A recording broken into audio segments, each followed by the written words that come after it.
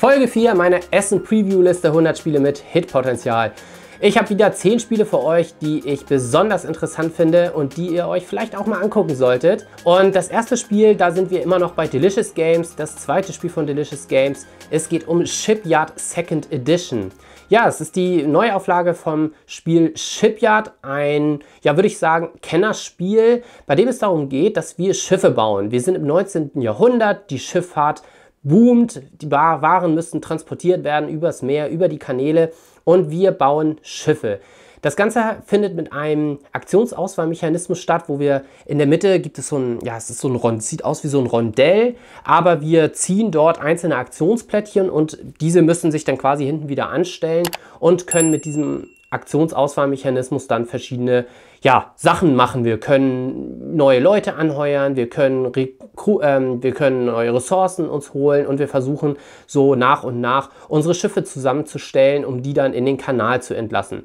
Ich bin sehr gespannt. Das Ding hat ein Rating, ein Schwierigkeitsrating bei BGG, zumindest die alte Version von 3,5. Da bin ich sehr gespannt drauf. Also eher ein gehobenes Kennerspiel, würde ich sagen. Ja, freue ich mich drauf, gucke ich mir definitiv an. Da werdet ihr auf meinem Kanal sicherlich auch das eine oder andere noch zu sehen und hören. Dann sind wir bei den Highlights von Devir Games angekommen, die ich mir auch sehr genau angucken werde. Das erste Spiel, was ich super interessant finde, ist Three Ring Circus. Da versuchen wir einen Zirkus aufzubauen, so im Sinne von The Greatest Showman.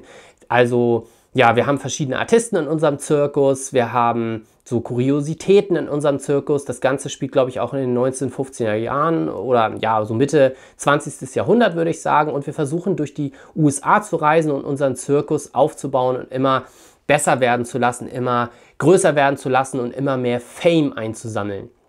Und dann ist es so, dass es verschiedene Städte gibt, die, bei denen es leichter ist, das Publikum zu begeistern. Da können wir auch mit ja, kleineren Auftritten schon einiges reißen. Aber in den kleinen Städten, da müssen wir dann schon einiges aufbieten, um die Bevölkerung zu begeistern, um dann Fame einzusammeln. Und dann kommt es noch irgendwie darauf an, wie man seine Shows plant. Das finde ich auch sehr interessant. Denn ja, die einzelnen Artisten, die man dann in seinen Zirkus anheuert, die geben dann unterschiedlich viel Fame, je nachdem, in welcher Reihenfolge oder in welchem, ja, wie man sie zusammensetzt, also wie man die Show dann zusammensetzt. Das finde ich ähm, sehr spannenden Mechanismus, bin ich gespannt drauf. Das Ganze sieht super bunt aus. Da bin ich auch mal gespannt, wie, wie wuselig das eigentlich ist, wie übersichtlich das ist. Und ähm, ich weiß gar nicht, ich habe so die Bilder, die ich mir angeguckt habe, da sieht das alles so auch sehr klein aus. Ich glaube, dass es gar nicht so ein, Riesen, ein Riesenspiel ist, sondern eher so ein, ja, doch auch so wie Bambu mit vielleicht, ja, doch sehr, relativ viel Tiefe, aber mit einem sehr kleinen Brett, mit sehr kleinen Komponenten. Ja, da bin ich sehr gespannt drauf. Ich habe das bei Devia angefragt und bin mal gespannt, ob ich das dann bekomme. Ansonsten, ja, muss ich es mir irgendwie auf der Messe organisieren. Ähm, ja, ich werde es auf jeden Fall mal spielen und euch dann davon berichten. Dann bringt bringt Devir noch eine Erweiterung zu Bitoku und da bin ich mir auch sicher, dass diese Erweiterung dann irgendwann ins Deutsche übersetzt wird und ihr dann auch für eure deutsche Bitoku-Version irgendwann in den Genuss dieser Erweiterung kommen werdet. Ich werde mir jetzt auf Englisch holen, weil mein Bitoku auch auf Englisch ist und auch von Devir ist. Und das ist eigentlich eine sehr kleine Erweiterung. Das, äh, wie heißt es, Bitoku Resutoran. Und ja, wir haben hier so drei Module, die wir entweder alle ins Spiel integrieren können oder wir wählen einfach nur ein Modul aus, was wir spielen möchten. Da gibt es neue Rocks, also neue von diesen Steinen, diese Kodoma Rocks hießen sie, glaube ich. Es gibt jetzt eine neue Kartenart wohl. Das sind Karten, mit denen wir noch unsere Würfel besser manipulieren können. Und dann gibt es einfach noch mehr von, von also es gibt noch mehr Karten, es gibt noch mehr von diesen äh, Kodoma-Plättchen. Ja, so ein paar kleinere Sachen. Bin ich gespannt drauf. Es wird das Spiel, glaube ich, nicht grundsätzlich verändern. Es wird, bringt einfach ein bisschen mehr Abwechslung rein, was die Komponenten angeht. Aber so ein Dauerbrenner wird es dann wahrscheinlich nicht werden, außer es ist sowieso schon ein Dauerbrenner. Ich bin gespannt, ich gucke es mir an und ja, sage euch dann Bescheid, ob es sich so richtig, richtig lohnt. Ich bin mir noch nicht ganz sicher, aber ich hätte die Erweiterung schon ganz gerne und gucke sie mir dann halt, wie gesagt, auch genauer an. Dann haben wir noch ein neues Spiel von Wladimir Suchi, was nicht bei Delicious Games kommt, sondern bei Dino. Ich glaube, das ist so ein ja, Ableger von Czech Games Edition oder ja, irgendwie so ein tschechischer Spielzeughersteller. Äh, hatte ich vorher auch noch nicht gehört. Und bei Aldebaran Duell handelt es sich um ein Zweispielerspiel was kartengetrieben ist. Wir sind ja was sind wir? Wir sind Flottenkommandeure und wollen so viele Planetensysteme unter unsere Fittiche bekommen, wie wir können.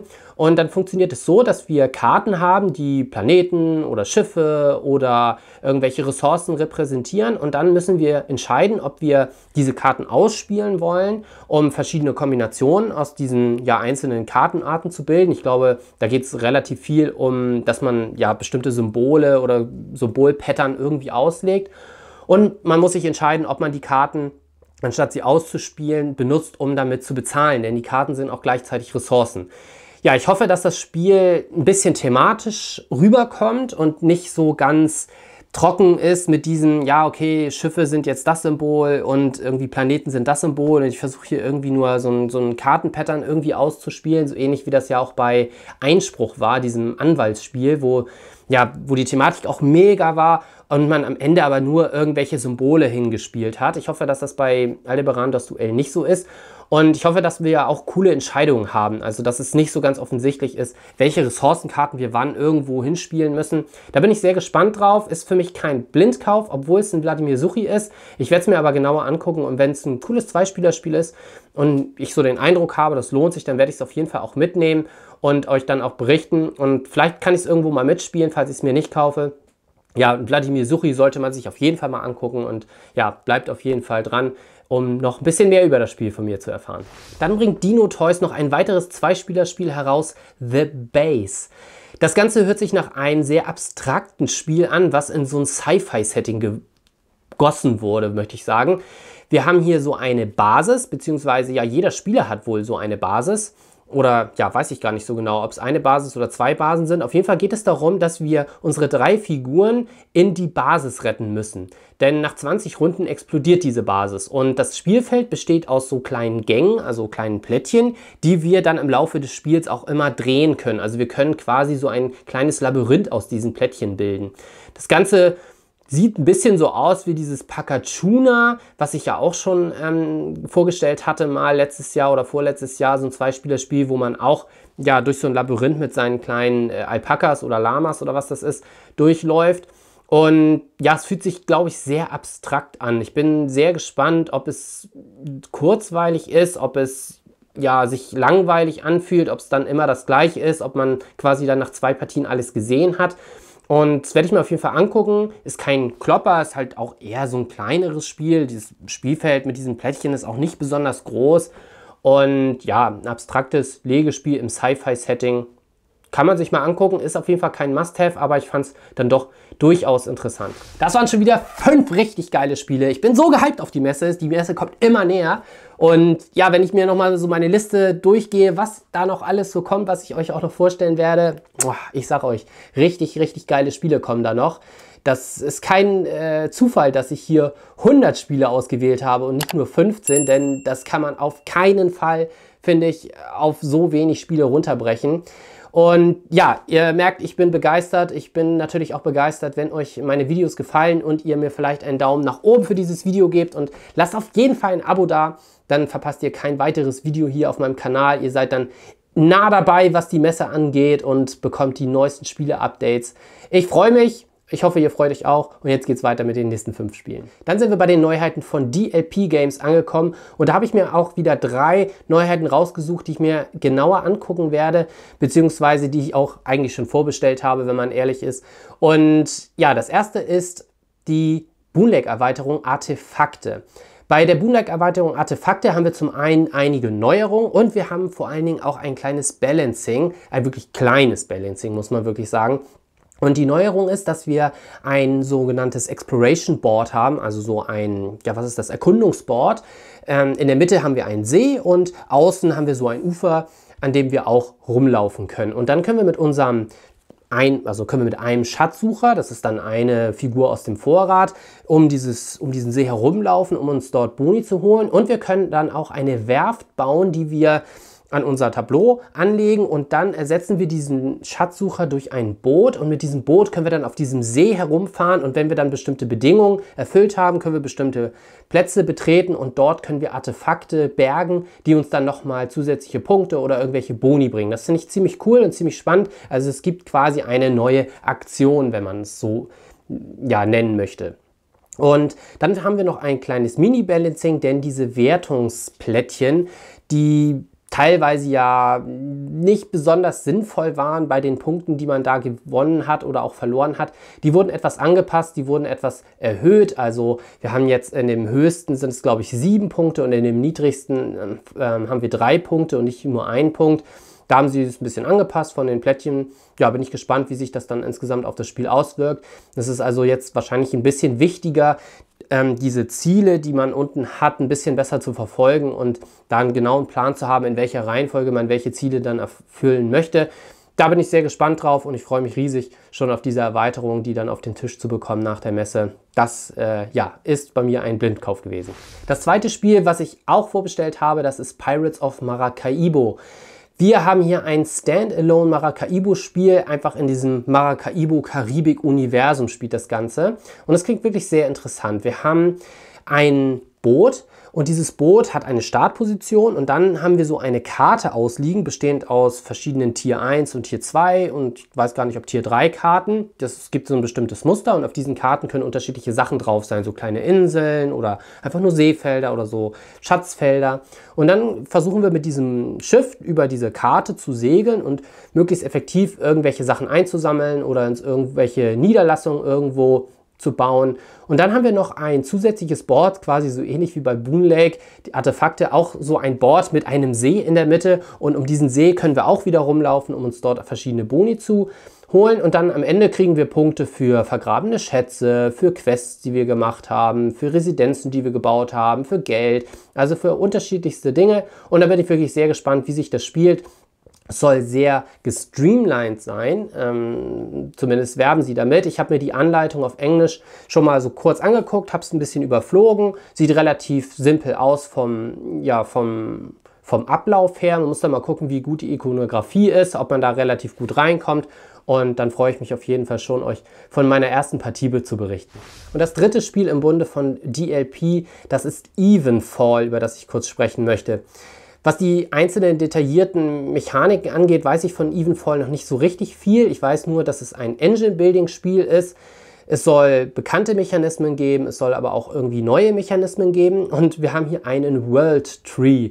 Und jeder, der Dark Souls gespielt hat, der weiß natürlich, was so ein World Tree auf mit oder was es mit so einem World Tree auf sich hat.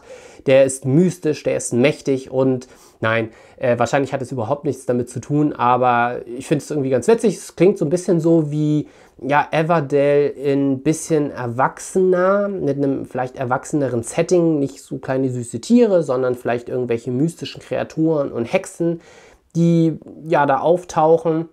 Bin ich sehr gespannt drauf. Ich freue mich äh, immer auf einen guten Engine-Builder. Der letzte richtig richtig geile Engine-Builder war ja Revive und vielleicht macht ja Even vorher auch viele Sachen richtig und wird uns begeistern. Ist definitiv ein Spiel, was ihr auf dem Zettel haben solltet. Dann habe ich noch ein kleines Flip-and-Ride-Spiel von Dranda Games im Gepäck. Das schaue ich mir definitiv auch an. Wie gesagt, Roll and Ride, Flip and Ride, ich sage es in jeder Folge, da werde ich heiß drauf sein. Und bei Pioneer Rails sind wir ein Inhaber einer Eisenbahn und oder einer Eisenbahngesellschaft wahrscheinlich eher und wir versuchen Pokerhände zu bilden, um mit diesen Pokerhänden Punkte zu machen und unsere Städte mit unseren Schienen zu verbinden. Da bin ich sehr gespannt, wie das Ganze funktioniert, wie so die, ja, die Mechanik da ist, ob, ja, wenn ich irgendwie dann einen Royal Flush habe, was natürlich ähm, sehr unwahrscheinlich ist, ob ich dann mir irgendwie aussuchen kann, was ich wo verbinde oder ob es irgendwie die Streckenlänge ist, äh, je nach Stärke der Pokerhand. Es gibt auch so kleine Ziele, die man noch irgendwie erreichen möchte. Man möchte dann noch irgendwelche bestimmten Dinge umkreisen Kreisen. Also es ist wohl sehr puzzelig und doch vielleicht ein bisschen denklastiger, als man dann am Anfang denkt. Bin ich gespannt drauf, schaue ich mir an. Pioneer Rails von Dranda Games. Das letzte Spiel, was ich euch vorstellen möchte, ist, glaube ich, ein eher unbekannteres. ist auch von einem Verlag, den ich noch nie gehört habe. Es geht um Cheops. Und wenn wir über Cheops sprechen, sprechen wir natürlich über Pyramiden. Das Ganze ist von, oh, jetzt muss ich ablesen, Ediciones Maskeoka heißen sie. Das ist ein, wohl ein spanisch sprechender Verlag oder aus einem spanisch sprechenden Herkunftsland, vielleicht Mexiko, vielleicht Spanien, weiß ich gar nicht so genau, müsste man mal nachgucken. Und ja, das gucke ich mir an. Es ist so eine Mischung aus Action Selection und Worker Placement, glaube ich. Wir haben Worker, die wir einsetzen können, um Ressourcen zu sammeln. Also wir haben auf jeden Fall eine Ressourcenmechanik mit drin. Wir können Gebäude bauen. Diese Gebäude gehören dann aber allen Spielern und diese können dann auch genutzt werden, aber man bekommt dann auch wieder einen Bonus, wenn andere Leute die benutzen und wir versuchen dann ja die meiste, das meiste dazu beizutragen, dass diese größte Pyramide, die die Welt je gesehen hat, gebaut wird und wir als Visier den Pharao glücklich machen. So stelle ich mir das Ganze vor. Ich bin sehr gespannt, ob das so alles gut ineinander greift. Mal gucken, ob das Ganze auch noch irgendwie einen besonderen Kniff hat. Ich schaue es mir erstmal an. Ich würde sagen, es ist keine Blindempfehlung, auch kein Must-Have unbedingt, aber es könnte wirklich Potenzial haben, wenn das Ding mit diesem, dass wir öffentliche Gebäude bauen und äh, dann irgendwelche Boni dafür bekommen, dass andere die nutzen. Und die sagen auch, dass jedes Spiel irgendwie anders sein soll, weil je nachdem, wie man wann an der Pyramide baut, hat das irgendwie Auswirkungen darauf, wie das Spiel dann verläuft. Ähm, das Ganze wird irgendwie über drei Runden gespielt. Jede Pyramidenschicht, also drei Schichten hat die Pyramide, stellt dann eine Runde dar. Ja, kann man sich auf jeden Fall mal angucken. Ich bin gespannt drauf. Und ja, Cheops von äh, Ediciones Mas Keoka oder Mas Keocha wollen wir mal ja, Vielleicht wisst ihr ja, wie es ausgesprochen wird. Schreibt es mal in die Comment mit Lautschrift. Das war's mit den 10 Spielen für heute aus der Folge 4 meiner Liste 100 Spiele mit Hitpotenzial. Die Essen Preview Liste. Und ja, ich freue mich, wenn ich euch ein bisschen auf das eine oder andere Spiel aufmerksam machen konnte oder vielleicht auch ja mit meinen Details, die ich einigermaßen irgendwie rausziehen kann aus den Informationen, die ich äh, bisher habe, euch vielleicht auch schon den einen oder, Eindruck, ein oder anderen Eindruck geben könnte, ob das Spiel was für euch ist oder vielleicht auch nicht. Und würde mich natürlich freuen, wenn euch das Video gefallen hat und würde mich auch freuen, wenn ihr jetzt noch ein bisschen Zeit habt, ein weiteres Video zu schauen. Ich hätte hier zwei Vorschläge. Hier oben ein gespielt Video aus den letzten Tagen und Wochen. Da habe ich ähm, ja nicht unbedingt Neuheiten gespielt, aber auch ein paar kleine Spiele mal wieder gespielt. Vielleicht ist da auch was für euch dabei, ein kleiner Absacker vielleicht. Und hier unten ein Video, was der YouTube-Algorithmus euch vorschlägt. Ist vielleicht auch ganz interessant für euch. Und dann würde ich mich freuen, wenn wir uns im nächsten Video wiedersehen. Bis dahin sage ich ciao, ciao.